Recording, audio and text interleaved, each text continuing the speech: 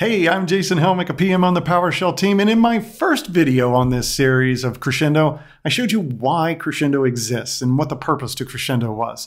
In this video, I want to show you the details of how to get your environment prepared so that you can start creating your own Crescendo amplified commands. What we're going to do in this video, real important stuff. We'll start out with the documentation, where to find it, what it contains, um, that we've been working on. Also, I want to show you some blogs both the team blogs that we've released that has additional information in it and some community blogs that are really helpful.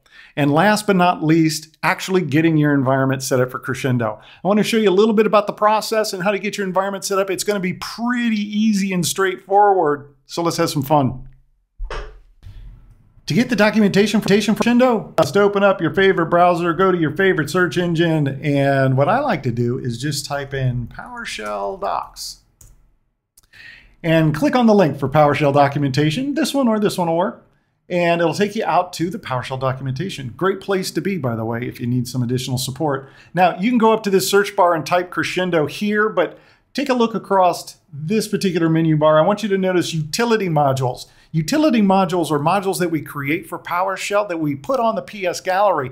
They aren't built into the engine, but they're for PowerShell. And so what you can do is you can see if you go to utility modules, uh, some of our utility modules here, and one of them is Crescendo. Before I drill into this, take a look at reference. Here's the official uh, name of the module for Crescendo, uh, microsoft.powershell.crescendo.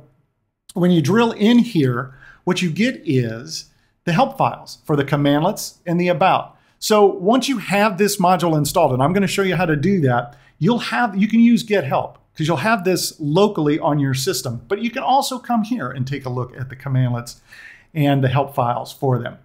Now, from the reference content, I'm going to go back to Crescendo. This is our conceptual content. We do have a brief overview for it. You got a better one, I think, in that first video. And then you've got the getting started topics. And this is where I'm going to bring these topics up to you as we hit them throughout this video series. Like we will very quickly get to installing Crescendo as an example. You will also notice that besides right now what you see, we're working on additional documentation. So from the time of this shooting, you'll probably notice some more documentation added out here. Also, we have advanced topics, things that we're talking about, things that we're working with that can help out advanced users with Crescendo. Now, this is our official documentation. Like I said, we'll be using it throughout this video series, but there's a couple of other things I want to add to this. Let me get another search bar up and let me type PowerShell team blog.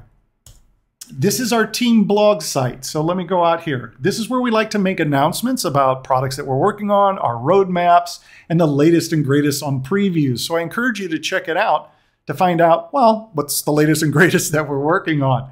Now, you could go up to this search bar here and type crescendo, and something magical is going to happen. Well, not that magical. It's just going to search and find all the crescendo articles for you. Now, if you go down through this list, this is actually a nice timeline. And the reason that I bring this up is these are the announcements that we made during the previews. And so if you're checking the documentation, you're like, hey, you know what? I have a couple of additional questions. You might find some additional answers in here, such as I'll go to preview one. This is where we made uh, the announcements for the, those features that we added to Crescendo, and we have explanations for them. So this might be some additional information and documentation for you worth checking out. Besides our official team blog site, something else worth checking out is the PowerShell community blog site. And I'll go ahead and click on it so that we can go into it. Now, at the, the PowerShell community blog site, this is a great place where members of the community create blogs and talking about all things PowerShell, how to work with PowerShell, how to how to use different functions and features, and even how to make it better. Um, up here at the search bar, if you type crescendo,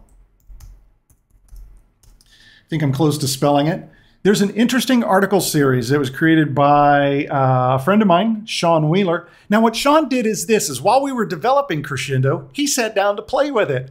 And this is the journey of his experience with Crescendo. And he teaches you how to use Crescendo from his perspective. And I think this is a great perspective. So if you go down here and you kind of take a look at the dates so you get them in the right order, you can go with his Crescendo journey. He'll take a look at the configuration files, how to build an output handler, all of the great stuff that you'll see in documentation, but a little bit more here. And I think he's using VSS Admin as his console tool that he's working with. So another great reference for documentation. Now that we have all the documentation that we need to get started, let's dive in and starting with a quick graphic that describes the overall process. Now, I'm not sure where this graphic's going to land. It's probably going to land on top of my face. But at any rate, this is the general process that you'll go through in order to get a crescendo amplified commandlet. If you look in the upper left-hand corner, you're going to start with by installing and importing the Microsoft.PowerShell.Crescendo module. And I'm going to show you how to do that in a quick second. The next thing that you're going to need is you're going to need to select a console tool that you're going to want to wrap. Now, this console tool in the example that I've given here, you need to know its full name and the location where that console tool is going to be located because you're going to need this information to author that JSON file. And this is the configuration file that Crescendo is going to use so that it can auto-generate the code for you. Now, as the author, what you're doing in that gray box, you can do on your machine and install the Crescendo module on your machine and then export the module from the configuration. Once you've exported it and basically you move over to the blue box, what you have now is a PowerShell module of your auto-generated crescendo amplified commandlet. That's a lot to say. Now, we actually give you two things. We give you a module manifest, a PSD1, and the module itself with the auto-generated code. Now, this is just like any other module that you'd expect to use in PowerShell. So you could upload this to the PowerShell gallery to share it with people. You could share it with teams around your company. Whatever works best for you, the module's ready to go. Now, one important note here is that when you give another machine that module in order to run your Crescendo wrapped uh, console command, that machine also needs to have the console command. In other words, this module is wrapping a command that it expects to exist on the target system. You do not need to have the Crescendo module installed on any other system than the one you want to author on. But the console tool definitely needs to be installed on the target system. So now, tell you what, let's go ahead and dive in, get this module installed, show you around a little bit, and then we can move on by creating our first configuration. So you want to get Crescendo installed. There's a couple of different ways you can do this. First of all, let me just show you that you can go right to the PowerShell gallery. And if you'd like, you can type in Crescendo I'm going to strike enter and there's the Crescendo module. Now you can download the Crescendo module right from here in the gallery, although I have a more PowerShelly way to do this that I prefer. Um, but you can also, when you go to the gallery, you can see our latest version, what we're up to, and you can download it from here. Now, another way to do this, eh, we already have in our documentation. So the documentation that I was showing you about Crescendo, there's an article here on installing Crescendo, and it shows you a couple of different ways to do this. I'm just going to demonstrate these for you, but I wanted you to see that you do have the documentation that'll take you through this installation. So let me just kind of pop up and let me do it for you here. I'm going to do a find module uh, Microsoft.PowerShell.Crescendo. Now, what Find Module does is it looks through the repository that the that the PowerShell gallery has, and it'll see if it can find that module out there for you. It certainly has. That's the version that I want. So you could, and I'm not going to do this right now, but you could pipe this to install module. Or you could just type, like the documentation says, install module microsoft.powershell.crescendo. That's one way you can do this. This is using what, well, you probably already have what we call PowerShell Get V2. This is our package management uh, software that's built into PowerShell. However, some of you may be working with a brand new version of uh, PowerShell Get that we've been working on.